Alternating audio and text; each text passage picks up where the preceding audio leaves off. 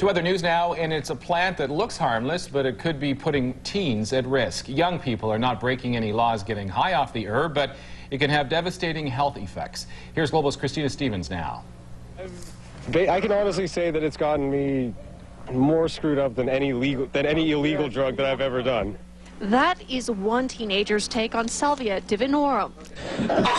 and this is what it's like to be high on the hallucinogenic. I don't know, it almost feels like there's fingers going up your body and touching you and like your it feels like there's balls in your veins. Yet salvia, an herb in the mint family, is totally legal in Canada and available at corner stores. The packaging is innocuous and the price cheap, between 2 and $10, depending on the strength. So the big concern is that young students may go and buy it.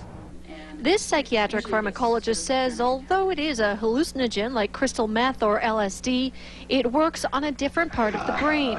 So it's not addictive, but can trigger underlying problems like schizophrenia or manic episodes. I would worry with a high dose if someone would have too intense of an experience and could have a panic attack and, and end up in emergency room or end up doing something, walking out into traffic, that type of thing anything that requires that you know what's going on around you, you should not be doing this.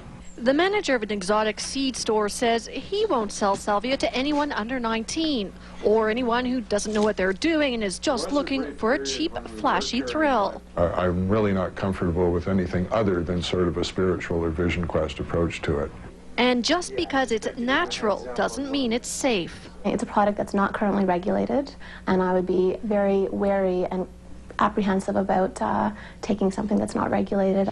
And the trip is so extreme, even those who've tried it are not sure it should be so readily available. Maybe for kids over 19, but not for everyone else.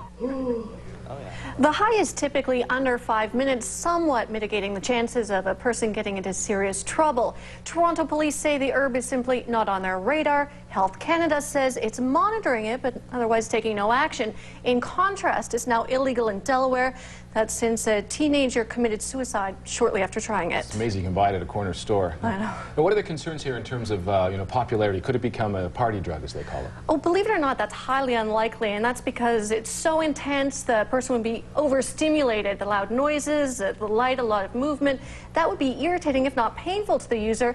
Also, it's it, again, it's so extreme that some of the people we talked to said even, you know, I've done it once. There's no way I'm doing it again. I'll take that experience, I'm finished. Thanks, though. A lot of parents at home. I know the conversation they're going to have with their kids after that. Oh, definitely. Thanks, Christina. Thanks.